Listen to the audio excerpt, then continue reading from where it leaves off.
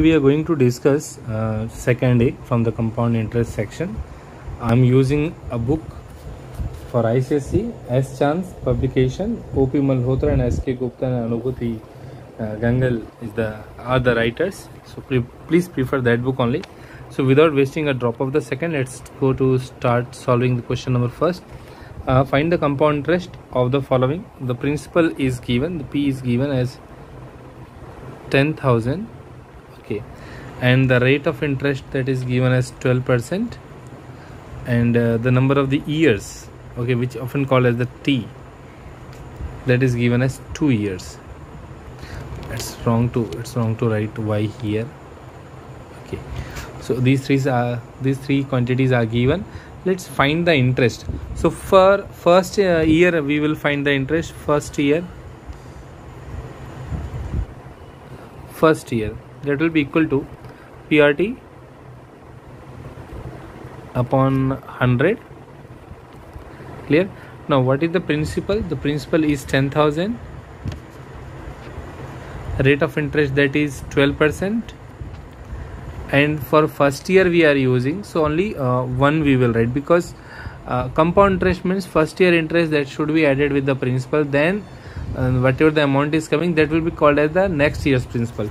So that's why uh, first for first year if i'm calculating so i will use only one and double zero. So when i'm cancelling two zero so 100 in total so 12 and two zeros are coming.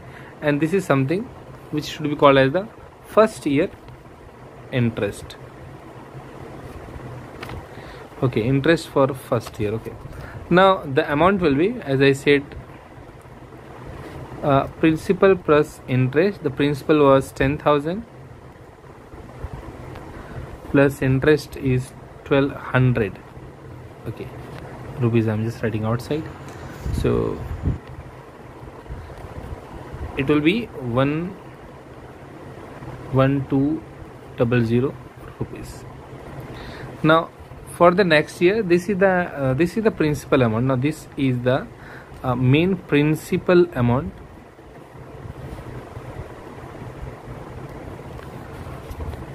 for next year. Clear? Now principal for uh, next year it will be 11200 rate of interest for second year that will be also quite similar. Uh, how much it is given? 12 percent. Okay. And now the time is for one year. No, no. We will write interest for second year same formula PRT upon 100 so now the P is 11200 into R that is 12 into T that's 1 okay 2020 we are cutting. Now just multiply this. Okay so 12 to 0 24 2 12 12 14 1 12 12 and 1 13 okay now we will multiply. So 12 to the uh, 24 to 12 and 12 13 14 1 12 and 12 and 13 so 1 3 4 4 that is the amount for the next year. Now uh, interest for the next year this is the interest. For second year clear now we have to add both the compounds. The previous the first year how much it was uh, i have written uh, see 1200 and here okay. So 1200 plus 1344 okay. So we can write the total compound. Total uh, compound interest which you are paying. Okay. That is the first year interest plus second year. okay.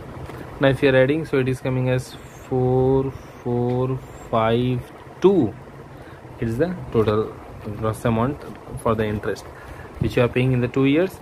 Let's go with the second number question. Principal is given as 5000 rate of interest 10 percent. And t is equal to two years है ना?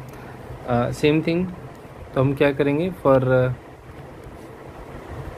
first year for first year same formula P R T upon hundred कोशिश करिए आप भी copy pen लेके मेरे साथ साथ और मेरे से पहले बनाने का है ना? आप लोग मुझसे होशियार हैं तो थोड़ा सा इसको देखते जाइए। इसमें फ़ायदा ये होगा कि कहीं पर आप अटकेंगे तो आपका टाइम वेस्ट नहीं होगा। So it is coming as 500 rupees for first year.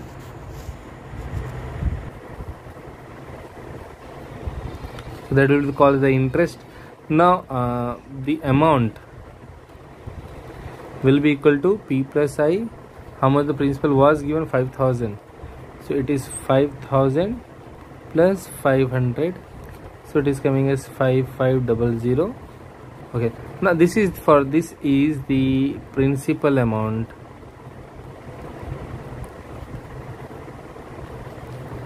for second year. Clear? Now uh, same thing uh, interest for second year. P R T चलिए मुझसे जल्दी बनाइए।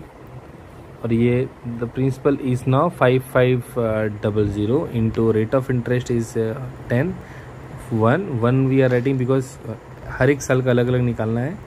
तो ये दो ज़ीरो तो आप यहाँ से काट दीजिए और ये फाइव फाइव ज़ीरो पाँच सौ पचास फिफ्टी रुपीज़ इंक्रीज है ना?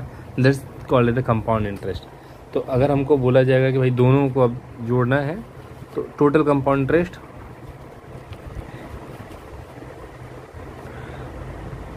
total compound interest. That is equal to 500 plus 55 0 0 5 5 and 10 so 1050 that is the answer. Uh, मुझे नहीं लगता मुझे हर क्वेश्चन बनाना चाहिए बट uh, अगर हम भी नहीं बनाएँगे तो फिर कौन बनाएगा? है ना? तो दैट इज़ वाई हम कोई भी क्वेश्चन को स्किप नहीं करेंगे। क्वेश्चन नंबर थ्री में principal principal amount that is given as 2800 rupees. Rate of interest is given as 10 percent. Time is given as 1 1 upon 2 years. Now this is a little bit seems as a complicated one but it's not quite so. One and half year you know means one year fully and another is the half year. Or we can say if you are making a half yearly so three half yearlies are there. Okay. Now uh, what we are going to do the same procedure we are going to adopt for first uh, year. For first year, interest we are trying to get it. चलिए, मुझसे थोड़ा सा तेज चलेंगे आप लोग, बच्चों। Just divided with hundred principal is two eight double zero मैं इसी स्क्रीन से ही ले लेता हूँ, क्योंकि बुक देखने से फिर थोड़ा सा टाइम निकल जाता है। इधर बुक है, इधर ये मोबाइल है। तो इसीलिए यहीं से क्वेश्चन टैली कर लेता हूँ। So two eight zero rupees that is the interest that is the interest for the first year. And I'm just going to copy it.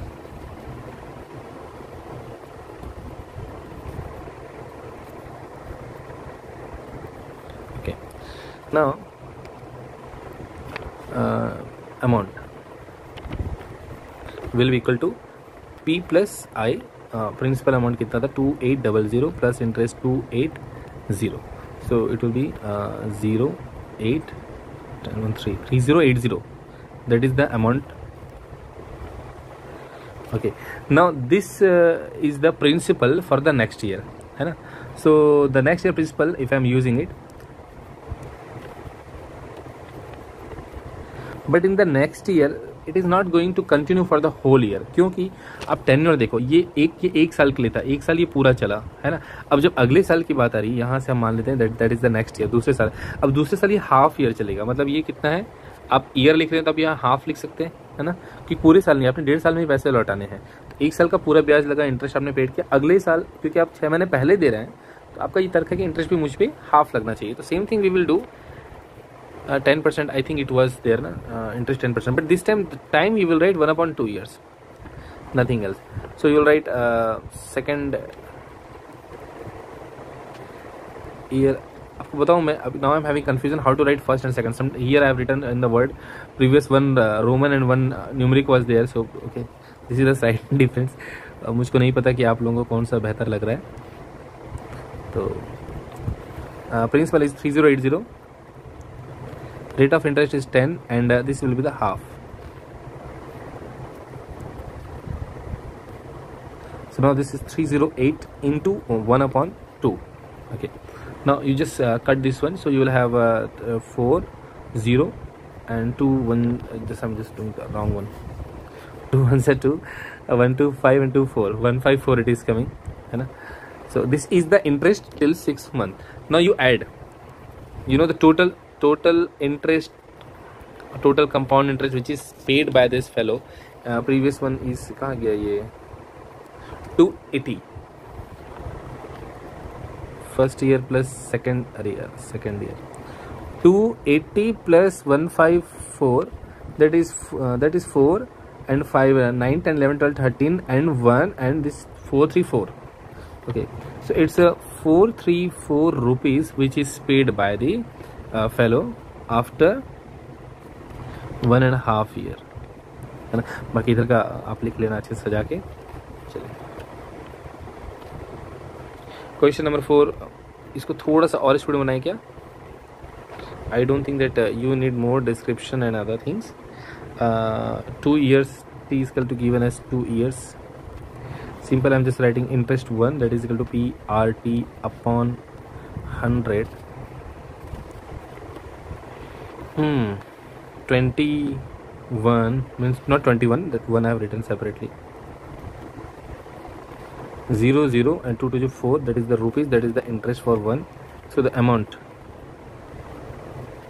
amount two thousand plus four मुझको नहीं पता इतना easy एक बीच में क्यों क्वेश्चन दे दिया है। I was expecting that next time the tough more tough question should भी देर ना this will be the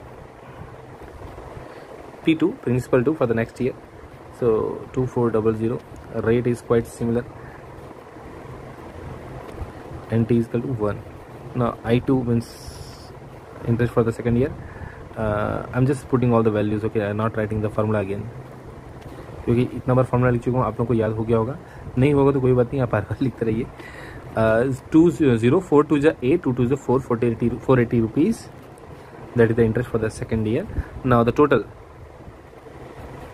total compound interest i have not written compound okay you just interest uh, is equal to कितना हो गया 400 plus 480 400 plus 480 that is equal to 08 eight and चार दुनिया आठ. Okay eighty eighty rupees okay going ahead with question number five okay this is little bit differ not complicated neither the tough one nor the complicated hint is also given ये बहुत अच्छा करता है. For some question the writers are providing the because maths में क्या problem होती है ना, आप कहीं अटक जाते हैं तो फिर वो मन नहीं करता है.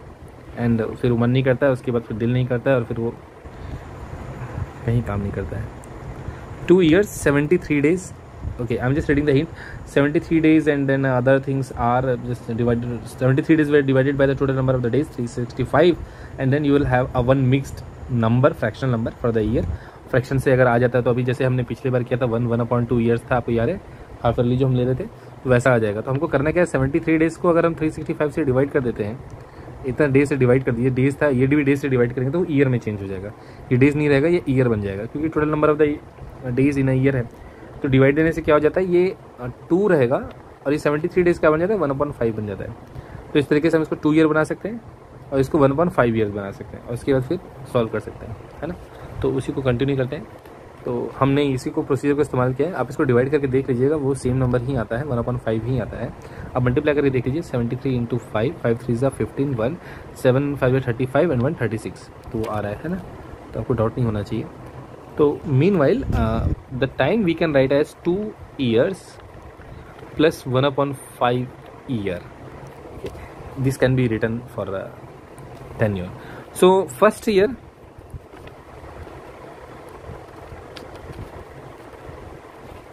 PRT, okay, I'm just writing the values directly 20480 plus, uh, right now I'm just using the fraction only and uh, for first year. Clear? So this is for the first year.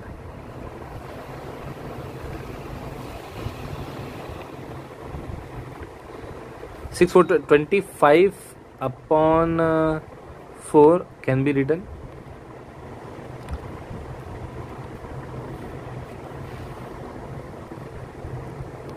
Okay now. Uh, can we write uh, 2480 into 25 into 1 upon 100 into 4 this cancel 4 4 5 is 24 1 is 4 2 is 21 25 4 is एक बार और कोशिश करते हैं। Four one जा, four four two जा, eight, three two आठ चौक बत्तीस, बारह अस्सी, twelve eighty. That is the interest for first year okay now after one year the amount amount will be P plus I and that will be equal to P कितना था भाई? Twenty four eighty plus twelve eighty add कर दीजिए eight eight sixteen one four six seven और ये हो जाएगा one और ये हो जाएगा इक्कीस हज़ार सात सौ साठ रुपए। ये हो गए पहले साल के दैट अमाउंट और the same amount will be the principal which can be called the P two सात सौ साठ, बहुत बड़ा अमाउंट ना इट्स ऑल अरे भाई। I two is equal two two one seven six zero that is multiply that should be multiply with twenty into okay this not it was 25 मैं 20 पिछले क्वेश्चन का ले रहा हूँ क्या? 25.4 इट इज़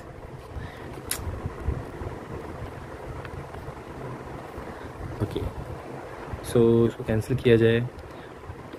सेम फोर का फोर चार कितना चार पच rupees 174 for 16 116 104 1 ja 4 1 ja 1 for 4 3 ja 2 uh, acha no 6 6